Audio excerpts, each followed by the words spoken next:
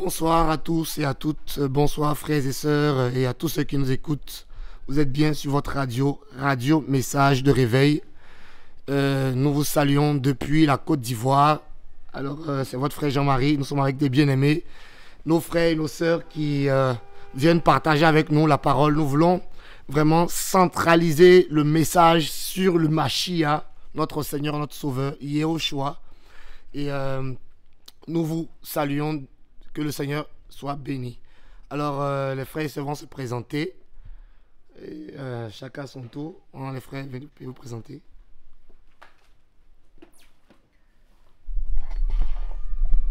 Euh, shalom à vous, les frères et sœurs, les amoureux des amoureux de notre Seigneur Yeshua Mashiach. Moi, c'est le frère Marius.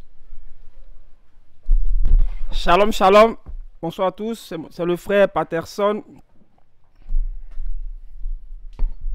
Shalom, shalom, moi c'est la sœur Michel. Bonsoir frères et sœurs, euh, le frère Arthur. Bonsoir frères et sœurs, moi c'est la sœur Alexandrine Gogua. Alors, donc on a notre frère aussi Arnold qui est là, qui a la technique. Alors, euh, que le Seigneur soit béni pour ce temps qu'il permet, que nous puissions passer autour de sa parole savez, les temps sont difficiles, les temps sont compliqués et nous sommes à la fin des temps. Et c'est pour cela que l'épouse du Machia doit, dans ces temps où nous sommes, chercher à connaître qui euh, elle adore. Elle doit, elle doit connaître la personne du Machia.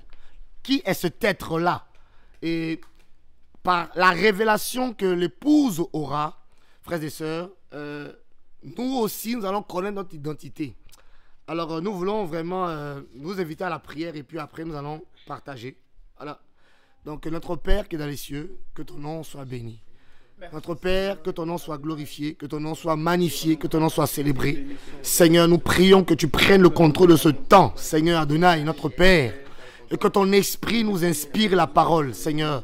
Oh, mets tes paroles dans nos bouches afin que nous parlions selon toi, Seigneur. Nous prions que ton esprit fasse du bien à nos frères et nos sœurs et à nous-mêmes, que nous soyons édifiés, construits en toi. Seigneur, Père de gloire, Seigneur, que tu ouvres notre intelligence, que nous comprenions la parole comme tu l'as fait, Seigneur, avec tes disciples, Seigneur, Père de gloire. Merci, Adonai, notre Père, dans le nom puissant de Yehoshua, le Machia, le roi d'Israël. Béni sois-tu. Merci, papa. Amen. Amen. Alors que le nom du Seigneur soit béni, frères et sœurs. Nous allons partager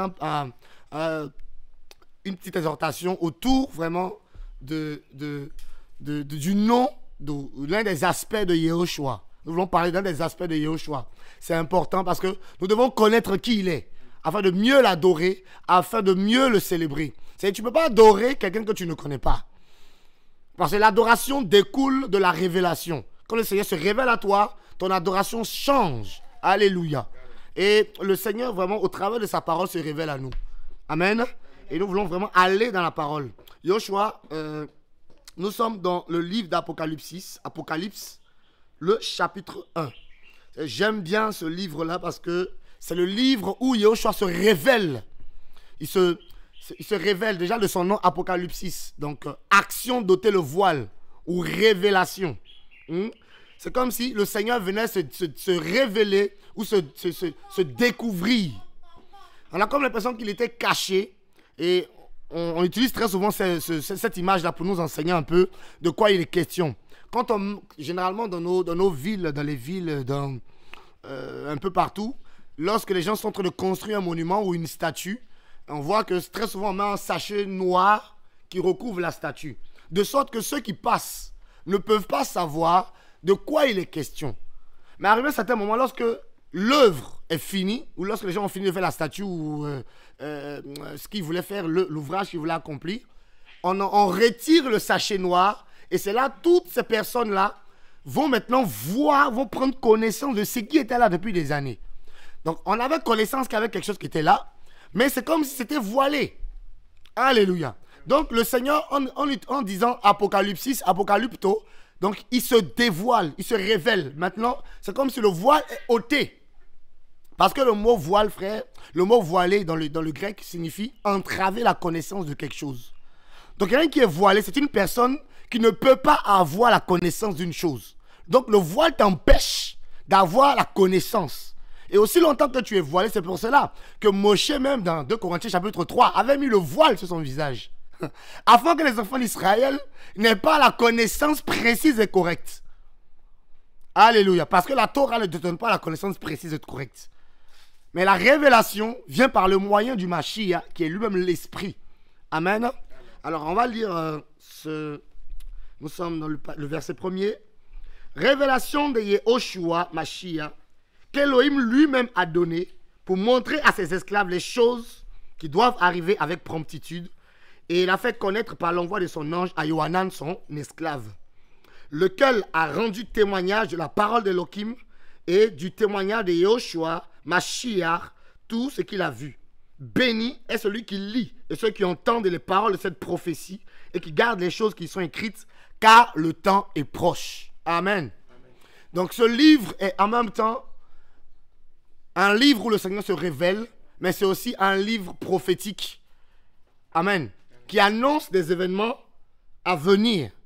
La Bible dit béni est celui qui lit et ceux qui écoutent. Donc qui prêtent, qui entendent la parole de la prophétie. Donc c'est une prophétie. Et ce livre est particulier dans le sens où c'est Yehoshua lui-même qui dicte le livre. Amen. C'est lui qui parle lui-même. Et ici, Yohanan, Jean, va être seulement un écrivain. Donc le Seigneur lui parle et il écrit. Alléluia.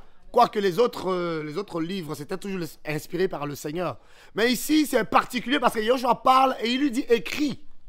Écris ce que je te dis. Ce que je te montre. Verset 4. Yohanan aux sept assemblées qui sont en Asie, à vous grâce et shalom de la part de celui qui est, qui était et qui vient. Alléluia.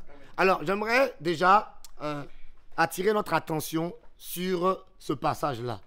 La Bible dit Yohanan aux sept assemblées qui sont en Asie.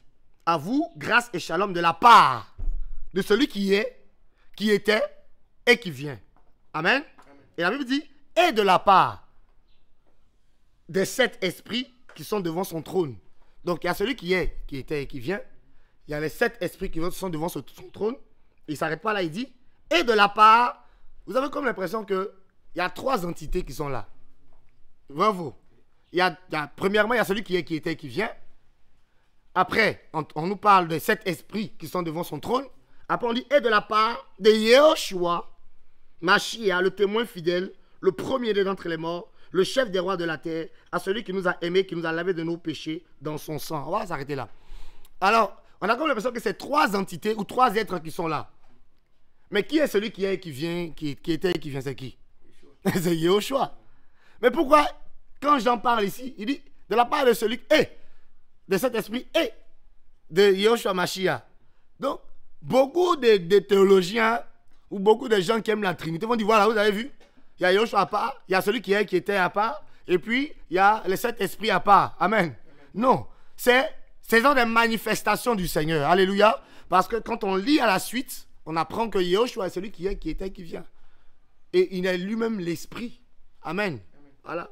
Alors, euh, qui nous, verset 6, et qui nous a, et qui nous, et qui a fait de nous des rois et des prêtres pour Elohim son Père, à lui soit gloire et la force souveraine d'âge en âge.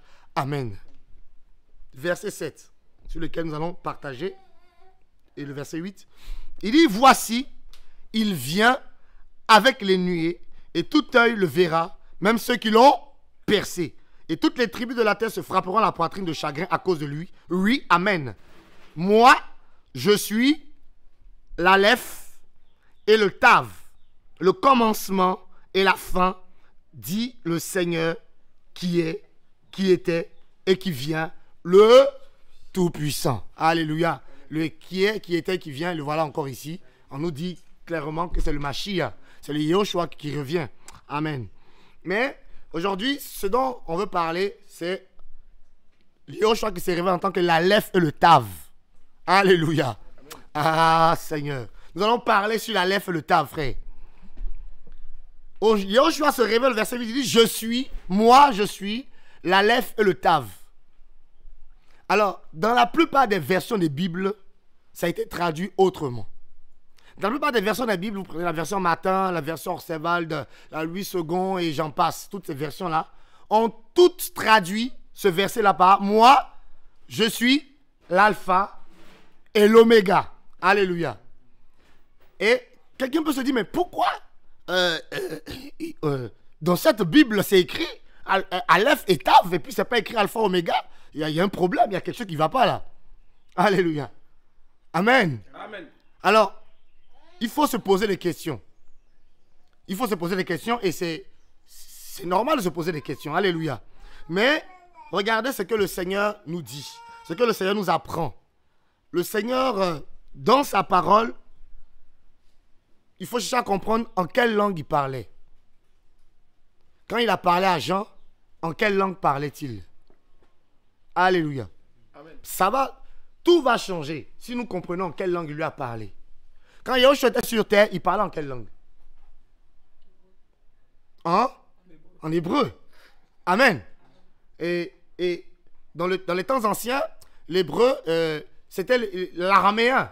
C'était euh, la, la langue des Chaldéens euh, que les, les Juifs avaient emprunté lorsqu'ils étaient, déportés à Babylone. Ils étaient sortis de là avec l'araméen.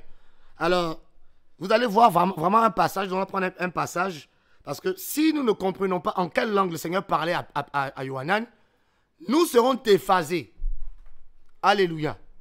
Alors, nous allons revenir dans un passage déjà. Nous sommes dans Acte chapitre, chapitre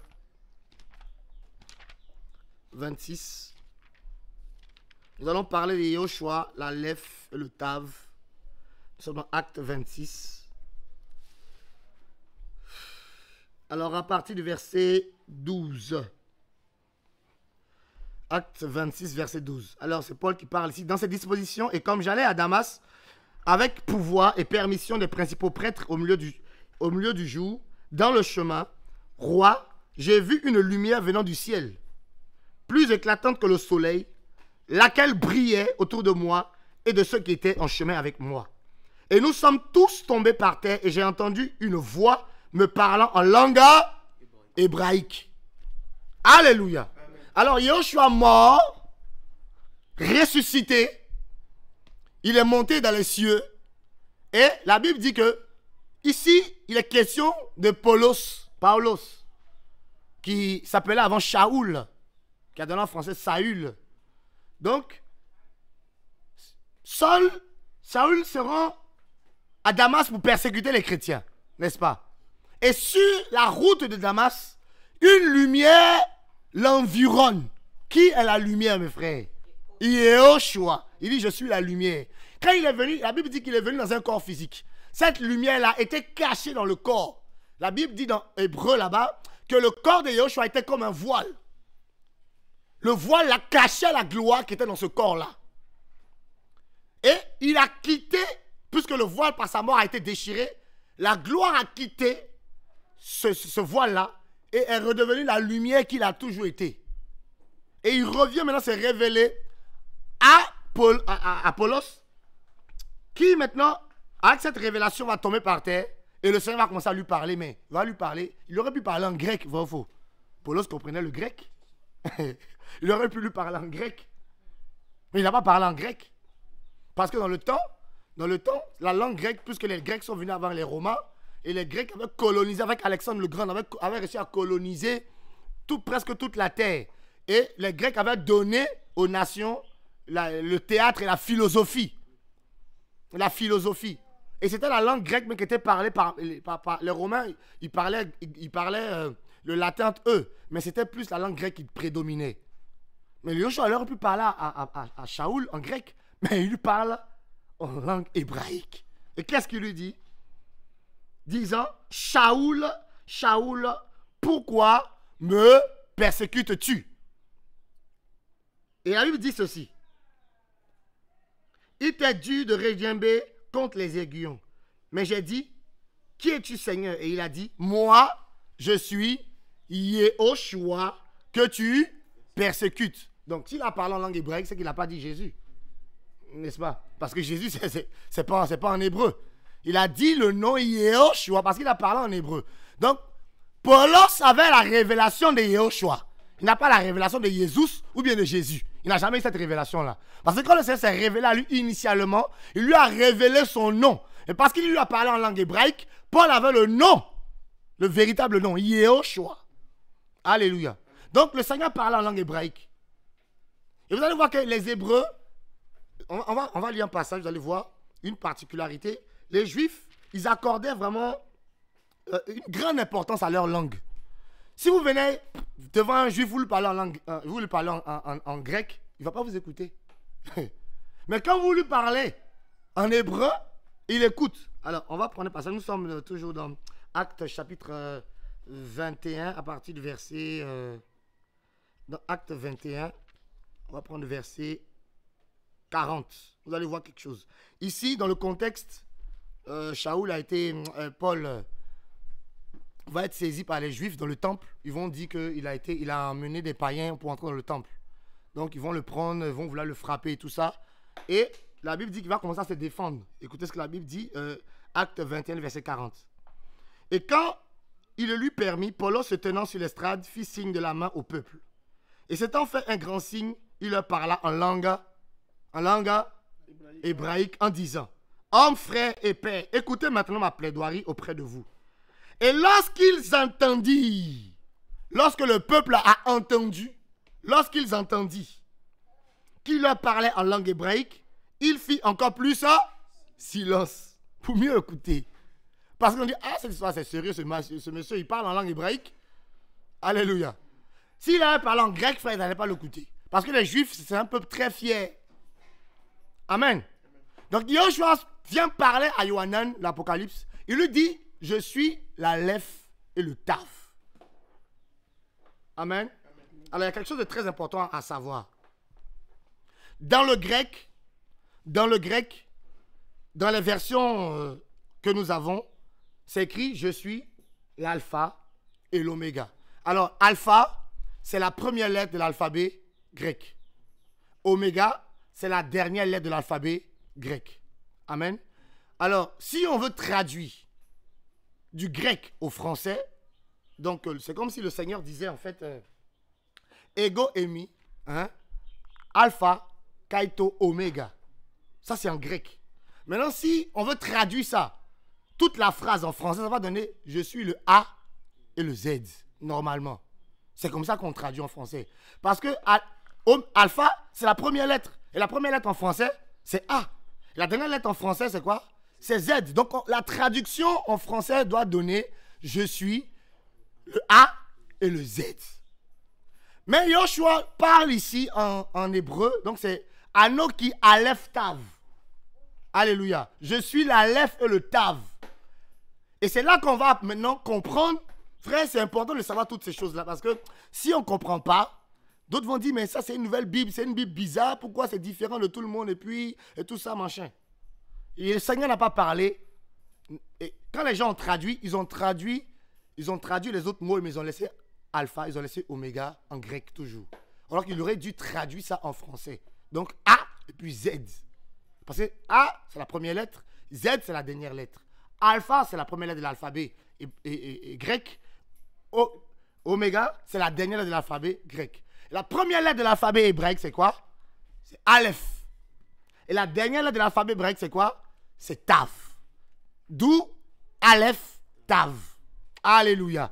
Alors, vous voyez comment. euh, c'est- simple à comprendre, hein, frère.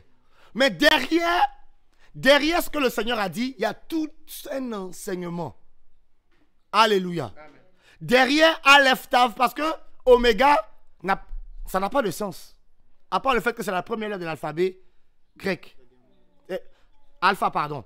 Alpha, ça n'a pas de sens. À part le fait que c'est la première lettre de l'alphabet grec. Oméga aussi, ça n'a pas de sens. Si ce n'est que la dernière lettre de l'alphabet grec.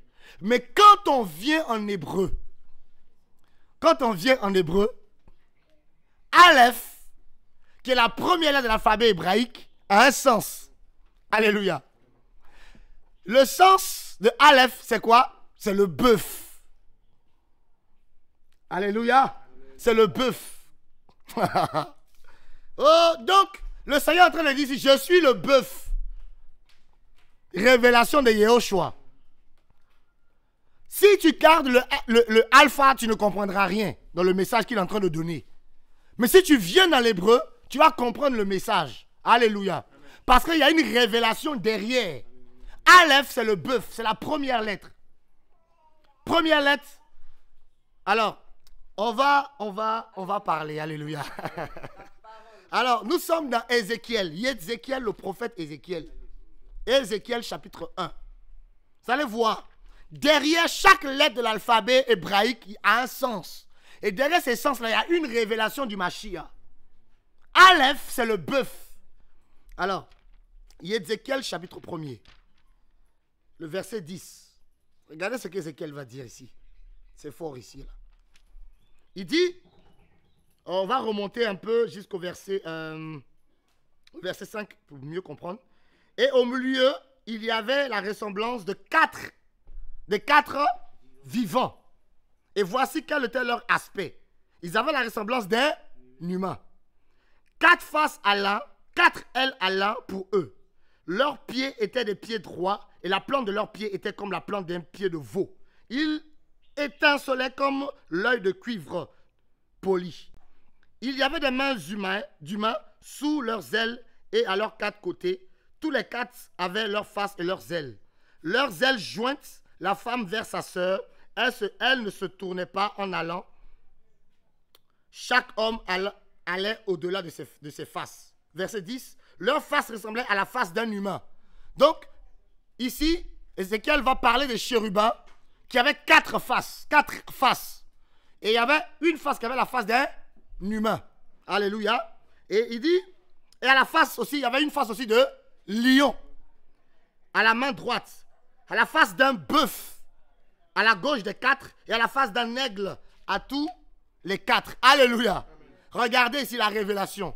Donc, on nous parle ici des chérubins qui avaient la face d'un humain, la face d'un lion, la face d'un bœuf et la face d'un aigle. C'est les, quatre- aspects du Mashiach qui ont été relatés en fait par les quatre évangiles, les quatre témoins. Vous allez voir que l'aspect de l'aigle, qui est l'image du tout du, très haut, elle est lionne, parce que l'aigle habite dans les hauteurs. Alléluia, dans les montagnes. L'aigle, c'est la divinité. Donc Jean va révéler la divinité de Yoshua. C'est pour ça qu'au commencement, il dit au commencement était le Logos. Le Logos était avec El- l'Elohim et l'Elohim était le Logos lui-même. Donc il présente Yoshua comme étant le divin, l'Elohim d'Israël. Alléluia. C'est Jean qui a révélé ce côté-là, le côté divin de Yoshua. Et le côté roi, c'est Matthieu, qui a révélé ce côté-là. Il présente Yoshua que les, les mages ont vu l'étoile. Comment des hommes peuvent adorer un bébé? Mais ils ont vu l'étoile depuis l'Orient. Il dit, nous sommes venus pour, afin de l'adorer. Alléluia. Ils arrivent, ils se prosternent devant un bébé. Chacun a ouvert son trésor. Ils lui ont offert quoi?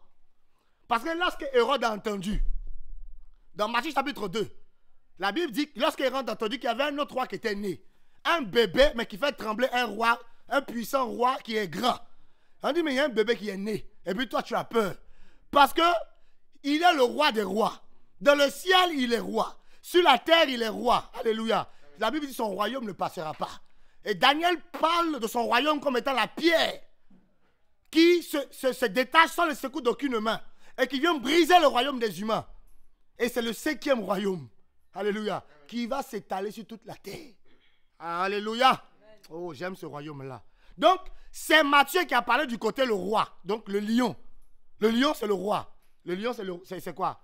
C'est le roi de la forêt, n'est-ce pas? Donc, c'est le côté dont Matthieu a parlé. Et on dit qu'il avait la face de qui? D'un humain.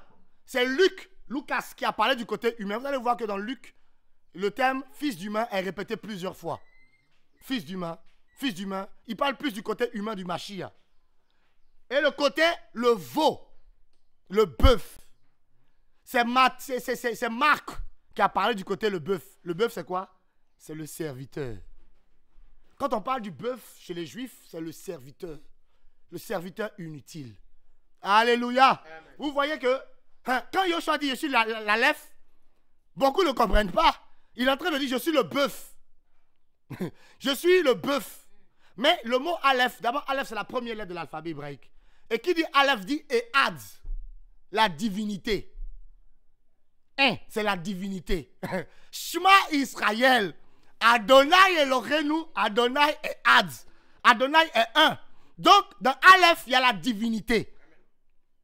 Parce que c'est la première lettre. Il n'y a pas deux. Il n'y a pas deux Elohim. Il y a un seul. C'est le, lui le, le un. Il est un. Et Ad. Ah, frère. Si tu n'avais pas vu ça comme ça, c'est ça. Aleph, le bœuf. Mais d'abord, c'est un. Un, c'est la divinité. On va lire ça. Nous sommes dans Deutéronome. Alléluia. Shema Israël. Adonai. Deutéronome chapitre 6. Vous savez, c'est la prière euh, la plus connue, comme on le sait. Il dit, et, Deutéronome chapitre 6, le verset 4. Écoute, Israël, Yahweh notre Elohim est un. Shema Israël. Yahweh Elohenu, Yahweh est Ad. Alors le Ehad, quand vous additionnez, donc on a, on a, on a, on a, on a Ehad, donc E-H-A-D. Donc si vous additionnez tout, ça donne 8 plus 1 plus 4, ça donne 13. Ça donne le chiffre de l'amour, le nombre de l'amour. Ehad. Alléluia. Donc dans Ehad, il y a l'amour aussi. C'est pour ça que la Bible dit que Elohim est amour. Amen. Alléluia. Oh Seigneur, tu es magnifique. Yehoshua l'Aleph. Et, frères et sœurs, il y a un aspect de Aleph que nous devons connaître. Nous avons dit que Aleph, c'est la première lettre. Donc c'est un et qui signifie le bœuf. Il y a un aspect, vous savez, la lettre A dans, dans le- en hébreu ne se lit pas. C'est comme le H en français, le H muet, comme habitation. Vous voyez? Il y a le H là, mais on ne le lit pas. Donc l'Aleph est là, mais on ne le voit pas. Parce qu'il est caché. Ah. Donc dans Aleph, il y a le fait d'être caché. Yahweh est celui qui se cache. Ah, Isaïe 45, le verset 15. Ah, écoute, frère, mange le rouleau. Esaïe, Yeshaya le prophète. Écoute, frère. Alléluia. Merci Seigneur pour ta parole. Yeshaya 45, le verset 15.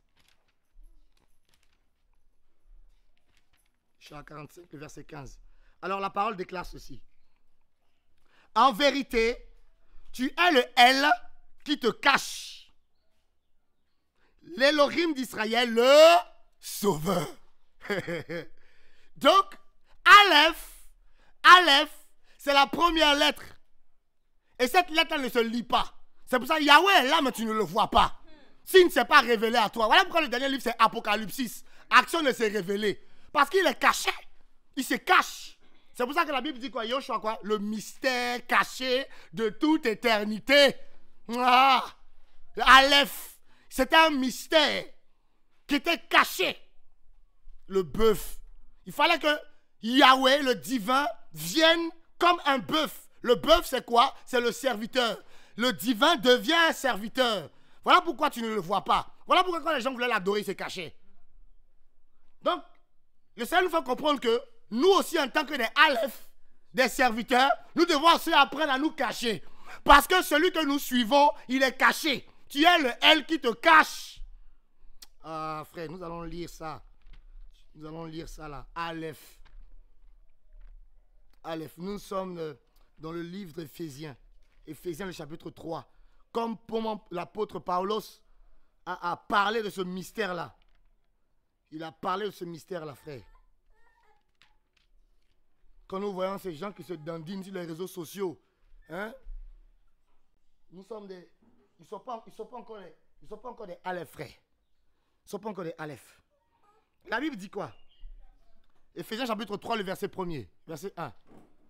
La Bible dit C'est pour cela que moi, Paulos, prisonnier du Machia Yoshua pour vous, les nations, si toutefois vous avez appris quelle est l'administration de la grâce de l'Elohim qui m'a été donnée pour vous, c'est par révélation, frère, ça vient toujours par révélation. Ici, le mot révélation aussi, c'est apocalypto. Apocalypsis. Action d'ôter le voile. ouvert. Le Seigneur, il se révèle à toi. Il enlève le voile pour que tu vois qui il est. Qui m'a été fait connaître le mystère. Ainsi que je l'ai écrit ci-dessous en peu de mots. Par où, en lisant, vous pouvez comprendre mon intelligence du mystère du Machia, lequel n'a pas été porté à la connaissance des fils des humains dans les autres générations, comme il a été révélé maintenant par l'Esprit à ses saints apôtres et prophètes. Donc, frère, Paul fait comprendre que Machia était qui? Un mystère. Il était caché. Parce que c'est l'Aleph. Aleph est caché. La première lettre, elle ne se lit pas. Tu sens qu'elle est là, mais tu ne la vois pas. Mystère caché. Donc il faut que tu aies la révélation afin que tu vois. Caché de tout temps. Hmm. Alors, nous sommes dans le livre de Luc. Lucas. On va parler de la parole, frères et sœurs. Yoshua, la lef. Il dit, tu es Yahweh, l'Elohim d'Israël, tu es celui qui se cache. Voilà pourquoi il dit, il dit toujours, celui qui me cherche, me trouve. Alléluia. Cherchez-moi. Il dit toujours, cherchez-moi. Parce qu'il est caché. Comment tu peux chercher quelque chose qui n'est pas caché? Hmm? De vous à moi. Si je vois une chose, je ne vais pas la chercher. Mais c'est parce qu'elle se cache que tu dois la chercher. Et Yahweh aime quand on le cherche. Alléluia. Alors, nous sommes dans Lucas chapitre 17, le verset 7. Donc, on a dit que l'Aleph, déjà, Aleph, c'est la première lettre, c'est la divinité. Un, c'est le divin, c'est Ehad, c'est Yehoshua, c'est Elohim. Et on a parlé aussi du fait que Aleph, c'est la première lettre qui ne se lit pas. Donc, elle est là, mais tu ne peux pas la lire. Elle est cachée. Et on a dit que Aleph aussi, ça signifie aussi le bœuf. Or, le bœuf, c'est qui? C'est le serviteur qui a été parlé, qui a été annoncé par Marc. Marc. Marc a parlé du côté serviteur de Yahushua. Maintenant, dans, Lucas chapitre 17, vous allez voir, on parle ici des serviteurs ici. On va le lire. Lucas chapitre 17, le verset 7. La Bible dit Mais qui de vous, ayant un esclave qui laboure ou garde les troupeaux, lui dira, aussitôt qu'il rentre des champs, avance-toi tout de suite et mets-toi à table Ne lui dira-t-il pas plutôt Prépare-moi à souper, sains-toi et sers-moi jusqu'à ce que j'ai mangé et bu. Après cela, tu mangeras et tu boiras. Et a-t-il à rendre grâce à cet esclave parce qu'il a fait ce qui lui était ordonné? Je ne pense pas. Vous aussi de même, quand vous aurez fait ce qui vous a été ordonné, dites, nous sommes des esclaves inutiles et nous, avons fait ce qui nous avait nous devrions faire. Voici le serviteur ici. Voici le serviteur. Un serviteur, c'est quelqu'un qui ne prend pas la gloire. Un serviteur, il est caché. Il n'a pas besoin de remerciements. Donc, tu n'as pas besoin qu'on te dise merci parce que tu as prêché. Tu n'as pas besoin qu'on te dise merci parce que tu as chassé un démon. Non. Parce que tu es Aleph. Aleph, il est caché. Il ne prend pas la gloire. Voilà pourquoi Joshua, voilà pourquoi Joshua, non seulement dans sa divinité, lui seul recevait l'adoration. Amen. Alléluia. Amen. Vous avez déjà vu un apôtre qui a accepté qu'on se procède devant lui? Lorsque euh, euh, euh, Corneille, voulait se procéder devant Pétros, est-ce que Pierre a accepté? Pierre a refusé. Lorsqu'on voulait sacrifier des, des, animaux à Paul et Barnabas, est-ce qu'ils ont accepté? Non, ils ont refusé. Parce qu'ils n'ont pas. Ils, ils, ont compris qu'ils sont des esclaves inutiles. Alléluia. Serviteurs inutiles. Ça, c'est ça, Aleph. Alléluia, alléluia. Celui qui me cherche me trouve. Aleph. Donc quand Yoshua dit l'Aleph, il faut, faut comprendre, frère. Il a donné un message qui est très puissant. Il s'est révélé dans Ézéchiel là-bas comme étant le bœuf. Le bœuf, c'est le serviteur. Celui qui travaille. Et comme on a dit qu'il était caché, frère, regardez, regardez ceci. Regardez ceci. Nous sommes dans Genèse. Genèse chapitre 22. Nous connaissons ce passage, nous, connaissons ce passage-là. Alors, euh, il est question ici lorsque Abraham devait sacrifier son fils Yitzhak. Alors, euh, nous allons lire à partir du verset 1er. Genèse 22, à partir du verset 1. Or, il arriva après ces choses qu'Elohim éprouva Abraham et lui dit, Abraham, et il répondit, me voici. Il dit, s'il te plaît, prends ton fils, ton unique, celui que tu aimes, Yitzhak. Va pour toi en terre de Moria, et là, tu, et là, fais-le monter en holocauste sur l'une des montagnes que je te dirai. Verset 3. Abraham s'étant levé de bon matin, scella son âne et prit deux de ses serviteurs avec lui et Yitzhak son fils. Ayant fendu le bois pour l'holocauste, il se mit en chemin et s'en alla au lieu qu'Élohim lui avait dit. Le troisième jour, Abraham, levant ses yeux, vit, le lieu de loin. Abraham dit à ses serviteurs, restez ici avec l'âne, le garçon et moi, nous irons jusqu'à là pour adorer, puis nous reviendrons auprès de vous. Verset 6. Abraham prit le bois de l'holocauste et le mit sur Yitzhak, son fils, et il prit le feu dans sa main et un couteau. Et ils s'en alla tous les deux ensemble. Vous avez, il dit, il partait adorer, hein, il ne partait pas chanter, il n'a pas pris la guitare avec les pianos pour aller, pour, aller, pour aller sur la montagne, frère. Parce que l'adoration, c'est le sacrifice. Alléluia. Il partait sacrifier son fils. Il a pris le bois, il a pris le couteau. Alléluia. Et la Bible dit, alors Yitzhak, verset 7, Yitzhak parla à Abraham, son père, et dit, mon père Abraham, mon père Abraham répondit, me voici mon fils. Et il dit, voici le bois, voici le feu et le bois, mais où est l'agneau pour l'holocauste? Bonne question. Parce qu'on va sur la montagne pour sacrifier, pour adorer Elohim.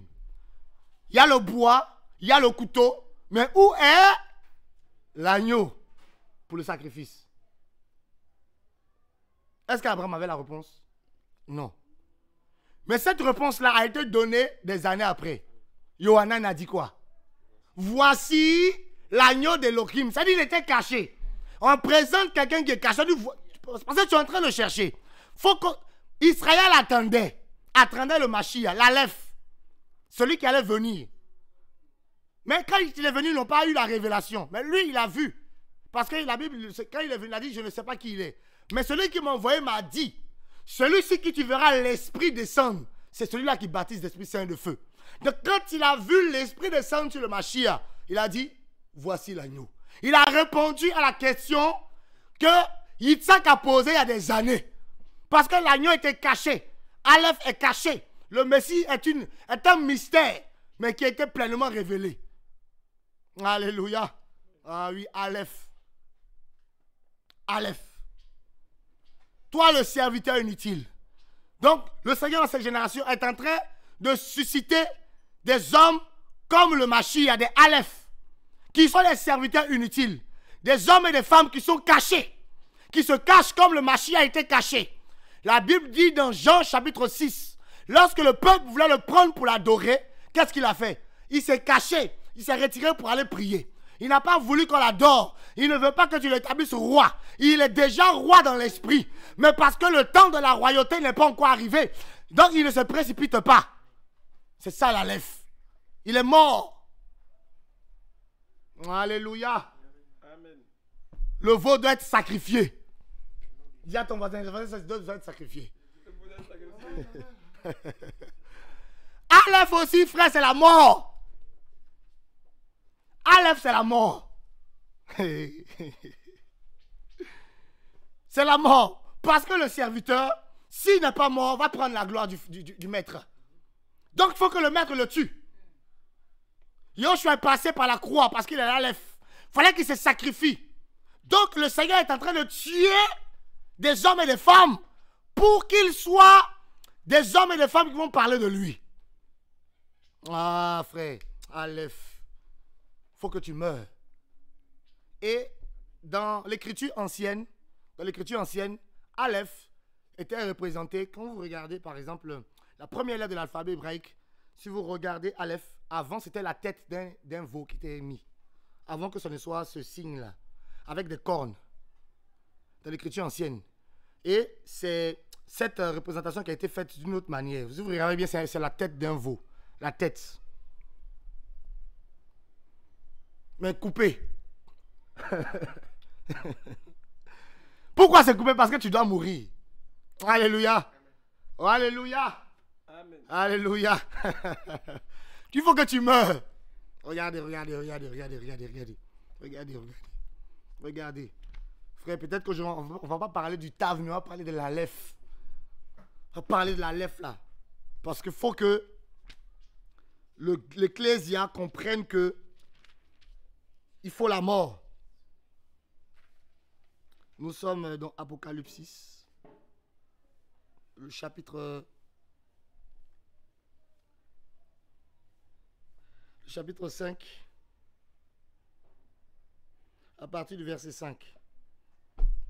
La Bible dit, Apocalypse chapitre 5, du verset 5, la Bible dit Et l'un des anciens me dit Ne pleure pas, voici, il a remporté la victoire, le lion, qui est de la tribu de Yehuda, la racine de David, pour ouvrir le livre et pour en délier les, les sept sceaux.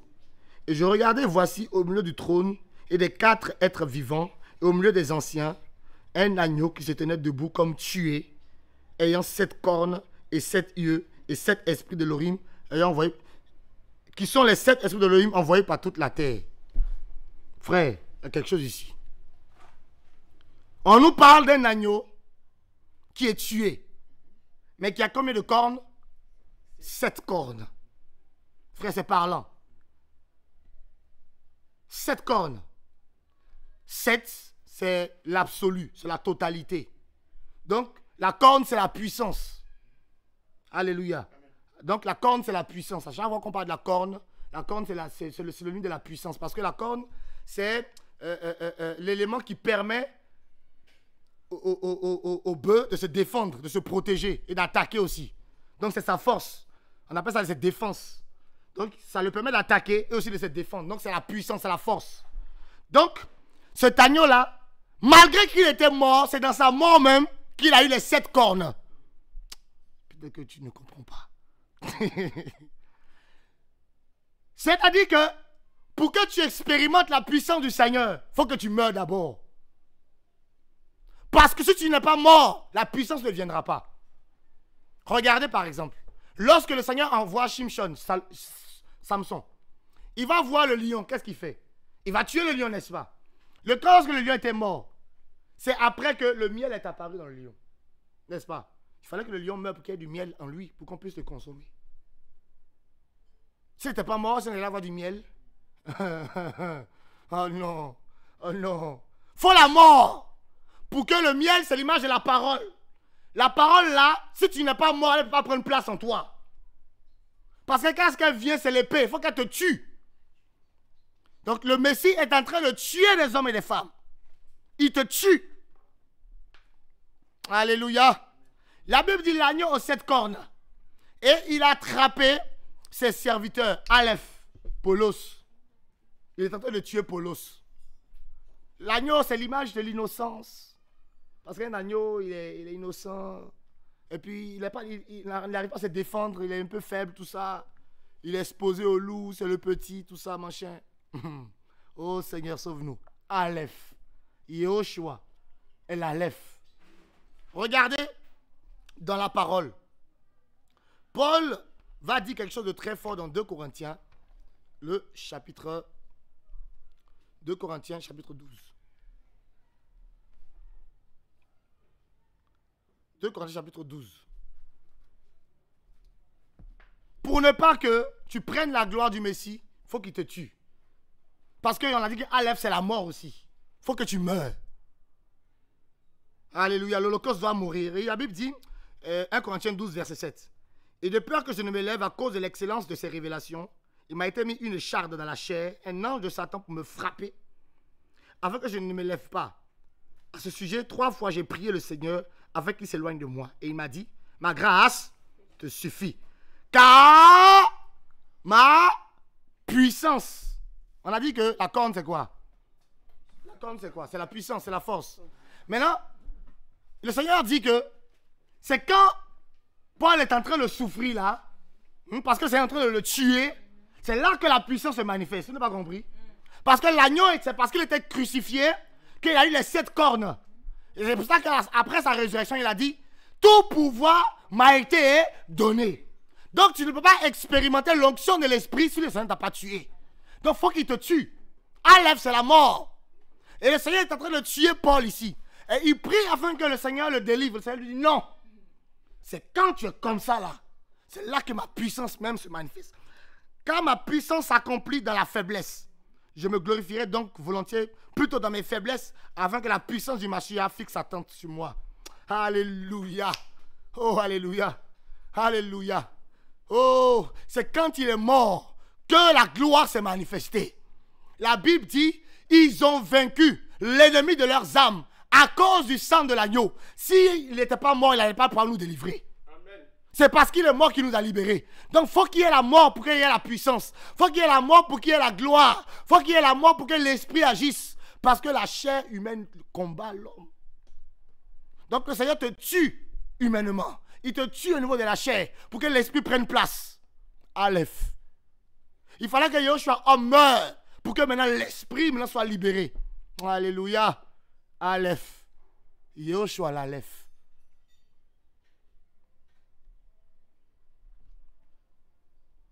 Amen. Et regardez ce qu'il va dire encore. Dans 2 Corinthiens, le chapitre 13.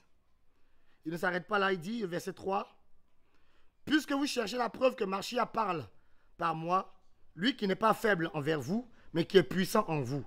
Car même s'il a été crucifié en raison de sa faiblesse, il est néanmoins vivant par la puissance de l'Orim. Oui, non. Il était crucifié en raison de sa faiblesse. Mais, ah frère, il dit, quand même, euh, euh, euh, verset 4, je reprends. Quand même, s'il a été crucifié en raison de sa faiblesse, il est néanmoins vivant par la puissance de l'Orim. Car nous aussi, nous sommes faibles en lui, mais nous vivons avec lui par la puissance d'Elohim, par la puissance qu'Elohim a déployée envers vous. Amen. Donc dans la faiblesse, c'est-à-dire dans la mort, c'est là que la puissance se manifeste, frère. C'est là que les cornes poussent. Pour que la corne pousse, dans ta vie, il faut que tu meurs. Il faut que tu sois un sacrifié. Il faut que tu sois un effacé. Sois effacé, mon frère. Ma soeur, laisse-le te tuer. L'esprit va prendre place. Paul dit, j'ai été crucifié pour le monde. Paul ne vit plus pour le monde. Il dit, j'ai été crucifié. Si je vis, ce n'est plus moi qui vis. C'est le Machia maintenant qui vit en moi. Alléluia. Yoshua la. Donc le Seigneur, le Seigneur, me parle, le Seigneur dit, vous êtes dans un temps où je, vous appelle à être comme la. La première lettre. Il faut que vous mourrez. Toutes les aspirations humaines, tous les désirs de la chair, il faut que ce soit consumé et que l'esprit prenne place. Parce que l'esprit veut agir. Nous sommes la, génération, la dernière génération qui va, qui va qui va expérimenter l'enlèvement de l'Église, frère. Donc le Seigneur est en train de tuer ses serviteurs. Pour que nous, nous, parlions comme, comme la Bible dit, nous sommes des serviteurs inutiles. Alléluia. Alléluia. Alléluia. Yehoshua la lève. Frère, vous avez vu, déjà, c'est Aleph, nous sommes, nous sommes déjà sur Aleph seulement. Hein. on est là depuis Aleph seulement. Alors qu'on ne peut pas avoir cet enseignement-là si on dit qu'il est l'alpha. On est bloqué on est bloqué. Mais quand on vient à la on voit que lui-même se révèle. Et regardez ce que la, parole dit. On n'a pas encore fini, frère. Ne pensez pas que c'est fini. La parole là, frère. Regardez, regardez ce que le Seigneur dit. Dans Deutéronome là, Deutéronome 6, toujours. Deutéronome 6. On avait lu Deutéronome 6, 4, on va lire Deutéronome 6, 4 à 5. Il dit quoi? Écoute Israël, Yahweh notre Elohim, Yahweh est un. Tu aimeras Aleph Tav Yahweh, ton Elohim, de tout ton cœur, de toute ton âme et de toute ta force. Yahshua s'est révélé dans l'Apocalypse là-bas comme étant la Tav, n'est-ce pas? Et on voit que la Tav a toujours existé dans, la, dans, au temps de, l'ancienne alliance. Alléluia. Les Juifs connaissent bien la, la Tav. C'est nous les nations, on ne comprend rien. Puisque beaucoup pensent que le Seigneur Yehoshua, qu'on a traduit par Jésus, hein, d'abord translittéré par Jésus, qu'il est européen, qu'il est français, chinois, japonais. Non. C'est un juif. Et la Bible dit que le salut vient des juifs. Alléluia. La dernière fois, le Seigneur, le Seigneur, me, faisait comprendre que, frère, je partage ça avec vous. Après, on va continuer l'enseignement sur la lèvre Il disait que vous, les nations, vous pensez que j'ai abandonné mon peuple d'Israël. Je n'ai pas abandonné mon peuple. De toute façon, la cité où vous voulez aller là, on appelle ça la nouvelle Yerushalayim. On n'a pas dit la nouvelle Abidjan. On n'a pas dit le, nouveau Paris ou les, les nouvelles États-Unis. On dit la nouvelle Yerushalayim. Et cette cité-là a combien? A 12 portes. N'est-ce pas? Les portes, il n'y a pas une des portes qui est bêtée, il n'y a pas une des portes qui est baoulée. On dit les portes portent les noms des 12 tribus d'Israël. Yehuda, Ruben, Gad, Nephtali, Itzaka et j'en passe. Donc c'est encore le peuple d'Israël. Et on nous dit encore que cette cité-là a 12 fondements. 12 fondements. Et ces fondements-là, ce sont les 12 apôtres de l'agneau. Parmi eux, là, il n'y avait pas un Ivoirien dedans. Il n'y avait pas un Américain. Les 12 apôtres, c'était tous des Juifs. Donc on revient encore chez les Juifs. Donc on est lié à Israël. On n'a pas le choix. On n'a pas le choix. Donc quand on dit Yehoshua, c'est son vrai nom, frère, tu dois accepter parce que ce n'est pas un Français. Ça ne peut pas Jésus. C'est pas ça la vérité. C'est pas ça la vérité. Donc le Seigneur dit qu'il est en train de faire update. Une mise à jour sur, tous ses enfants. update. Vous allez voir de plus en plus, il dit, ceux qui sont de lui, ils vont, comment, ils vont reconnaître que son nom c'est Yehoshua. Lui-même va leur parler pour leur dire, c'est ça, c'est ça. Mais ceux qui ne sont pas ses enfants, ceux qui ne sont pas de lui, ne vont jamais accepter. Il est en train de faire une mise à jour dans les nations. Frère, revenons à la vérité. Yehoshua, l'Aleph. Aleph. Et on va lire ce dernier, passage-là. Et puis après, euh, une prochaine fois, on va parler du Tav, si le Seigneur le permet. Nous sommes dans Zacharie. Zéchéria, le prophète. Zacharie, Zéchéria. Alors, frère, oh, la parole là, c'est succulent. Alors, Zacharie, Aleph Tav Yehoshua.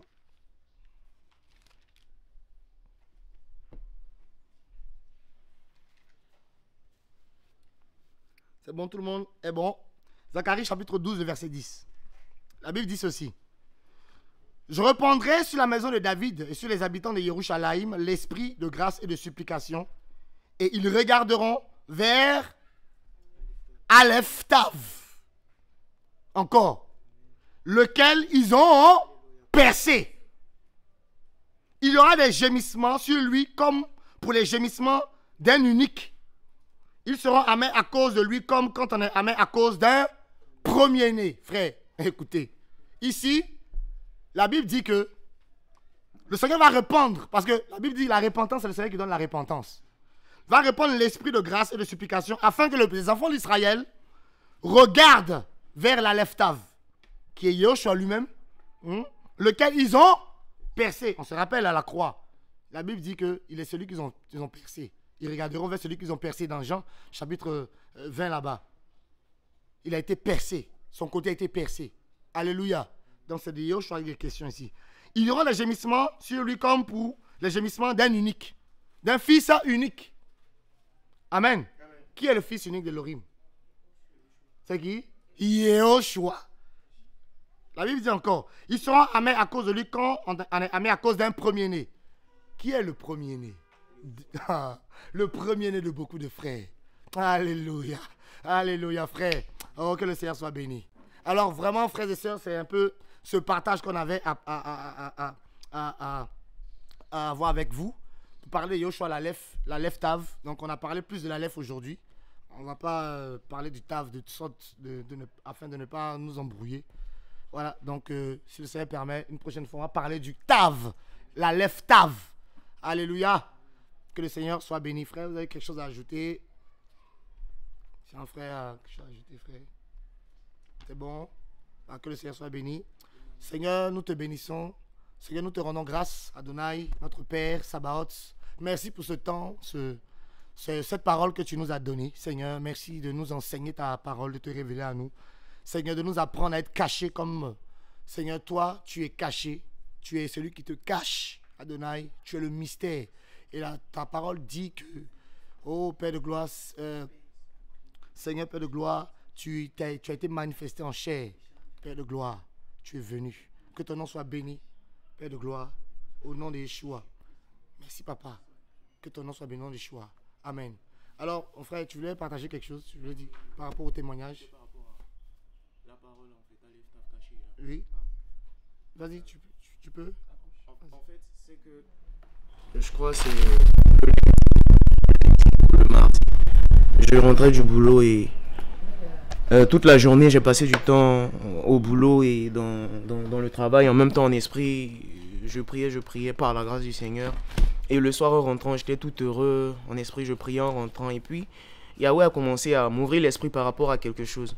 Je voyais en fait que euh, le Seigneur faisait un travail dans ma vie et il me faisait voir en fait comment le travail il le faisait en fait étant, étant caché. Étant caché en fait. Et là, moi, ça m'a choqué. Ça m'a choqué. J'ai dit, mais Seigneur, parfois j'ai comme l'impression qu'il n'y a rien, mais je me rends compte en fait que tu travailles. Et il a commencé à me dire, voilà, je suis l'Élohim qui me cache quand je travaille. Je suis l'homme de l'ombre en fait. Et donc, vous en retour en fait, vous devez apprendre à vous cacher. Et c'était pour confirmer en fait, c'est- le message du temps en fait. Mm. Le Seigneur demande à ses enfants de se cacher. Amen. Ça m'a. Amen. Merci Seigneur. Donc, frères et sœurs, que le Seigneur soit béni. Euh, demeurons dans la paix du Seigneur, dans l'attente de notre Messie. Que le Seigneur soit béni au nom de Yoshua. Au revoir.